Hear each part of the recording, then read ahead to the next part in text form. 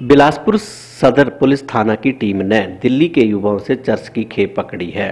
सदर पुलिस थाना के साथ चंडीगढ़ मनाली नेशनल हाईवे पर टी पुलिस टीम ने चेकिंग के दौरान दिल्ली के युवाओं से एक किलो 16 ग्राम चर्च बरामद की है। पुलिस ने युवकों को गिरफ़्तार कर लिया है और मामला दर्ज कर छानबीन शुरू कर दी है।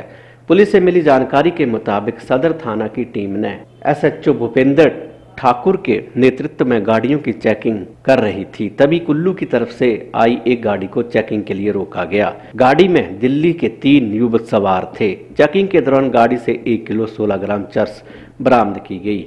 डीएसपी राजकुमार ने बताया कि पुलिस ने गाड़ी में सवार युवाओं को गिरफ़्तार कर लिया है और मामले की छानबीन की जा रही है।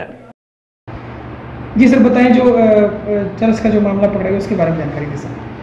हाँ सर, जो पिछली रात को जो हमारी पुलिस थाना सदर की टीम, सदर बिलासपुर की टीम निरीक्षक भूपेंद्र सिंह जो एस एच ओ थाना सदर बिलासपुर है। उनकी अगुवाई में एक टीम जो थाने से नीचे जो नेशनल हाईवे है, उसमें चेकिंग में मुस्तैद थी। तो उसी दौरान जो वो एक गाड़ी जो मंडी की तरफ़ से आई होंडा गाड़ी है तो इसको चेकिंग के लिए रोका गया।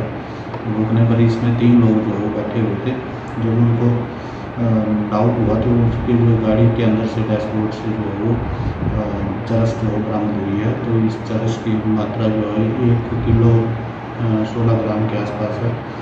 और इसमें जो इस में जो तीन लोग हैं, उनको फ़िलहाल गिरफ़्तार कर लिया गया है और उनसे जो है गहनता से जो है पूछताछ है। जारी है मामला जो है वो एन की सेक्शन ट्वेंटी के अंतर्गत जो है दर्ज कर लिया गया है।